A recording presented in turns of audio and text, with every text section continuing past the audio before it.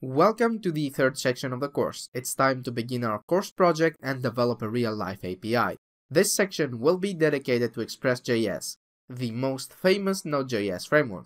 We will take advantage of its strengths and attempt to remedy its weaknesses, but the most important takeaway from this section is that conventions and best practices are important even in the context of a framework that leaves us with much freedom into how we approach things.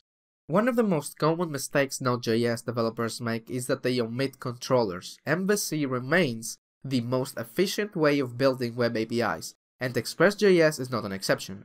Just by following a few simple techniques, we can boost our productivity, limit bugs, and write better, more presentable code with Node and Express. But before getting down to the nitty-gritty details, let's first focus into what we will be building throughout the rest of the course we will be building a subscription management application. What's the use for such an app? Well, imagine that you are selling an online service that users have to pay monthly fees to use.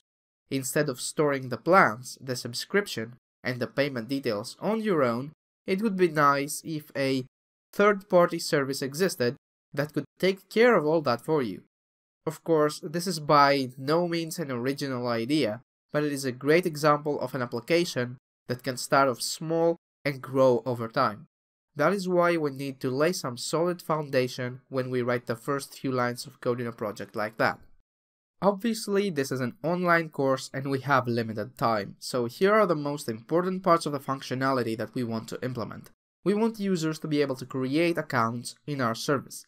We want users to store subscription plans that they make available to their customers. We want them to be able to store subscriptions based on those plans. And finally, we want to be responsible for charging the end users. Let's get started. I'm going to open up a terminal in order to initialize our npm installation and begin by installing Express.js. It's gonna take some time. The next step, of course, will be to get started with the entry point. The entry point is the first file that we are going to call in order to initialize the server and get things bootstrapped. So I'm gonna call this server.js. Other names usually are app.js or index.js. I personally prefer the name server. In this file, we need to require the Express library. And next, I'm going to configure the port number. Now, we may want to provide the port number via an environmental variable or use the default value, which I'm going to use 3000. Then we can begin by enabling the application and listening to that port number. Also, printing a message so that the end user, the one calling the API, knows the port in which it's running. So the very basics are here. Our server is running if we attempt to call and start this file. Now, I'm going to create a folder called controllers and inside that I'm going to place the plans controller and later the subscriptions controller. Now, how do controllers work? Controllers work via the use of the express router. You see, most developers make the mistake of defining all routes in the server.js file.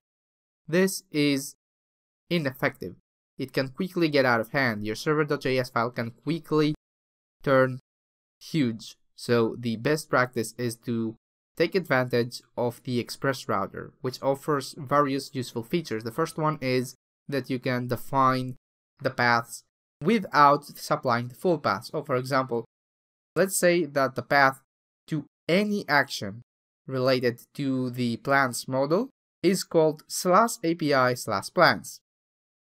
Well, we could go on and add that prefix in all of the routes, but that would be repeating ourselves. So, to keep ourselves dry, I am just going to assume that this prefix has been dealt with from the caller, from the one that's using this controller, this router, and just implement four routes. Get with no ID, get with ID for returning a single plan, post and delete. And of course, don't forget to export the router. Then we can go on back to the server.js, import the router from that file as plans controller, even though it's not technically a controller, it's not a class inheriting from something.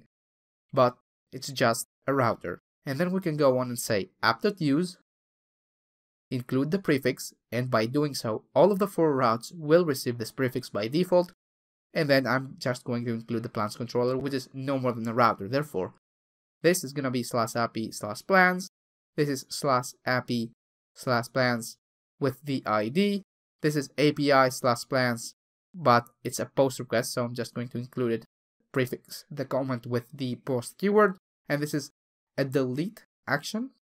So let me include the get action to these two.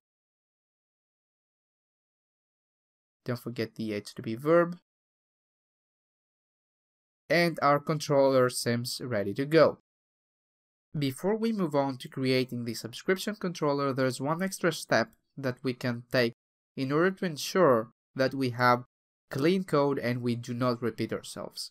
We are going to create an async wrapper to wrap this request handler that we pass as the second argument to all our paths. Now, this is going to be part of the utilities folder because it's a helper function that's used throughout the rest of the project. I'm going to call this async-wrapper.js and in here I'm going to place this very simple implementation of a wrapper function. The async wrapper takes a first and only argument, a function, which is going to be the actual request handler, and wraps it with a call to catch. Now, what does this mean? It means that any error that happens inside that function will be caught and passed to the first error handling middleware that we supply to Express.js. So how do we use it? We go back to our controller and require it using typical Node.js syntax. Let's make this lowercase. And then we can go to our request handler callback and wrap it with async wrapper. This allows the request handler to be async and also it allows it to be free of error handling code. So at this point, we do not have to include try catch blocks or rejection checks for promises. All those are responsibilities of the error handling middleware, not of the request handler, and this is where async wrapper will be proven to be extremely useful. But notice that we no longer have IntelliSense. VS Code doesn't know that request and response are actually express request and response objects because we've wrapped them in another function. So I'm going to go back to the utilities folder and create a type definition file. This is actually TypeScript, but it is extremely helpful for what we want to do. I'm going to import the request handler type, which is the type of the callback function we pass in every route we define using Express. And I'm just going to say that the function we pass to async wrapper is a request handler. Now, if we go back to our controller, we can see that IntelliSense is back and we can access all properties of the request and response objects. And then I can go on and make every request handler async. An added bonus to all of that is that we don't have to care about the response sent to the end user unless of course the response is the regular 200. For a bad request response, we will be throwing an error that when caught by the error handler that we will define in the next video, it will return the appropriate error code. The controller doesn't need to know about all that. I'm just going to copy and paste the logic over to the subscriptions controller since there's nothing special in this implementation. The endpoints are just placeholders for what's to follow. And then back to the server.js file, I can import it and include it in the project using app.use.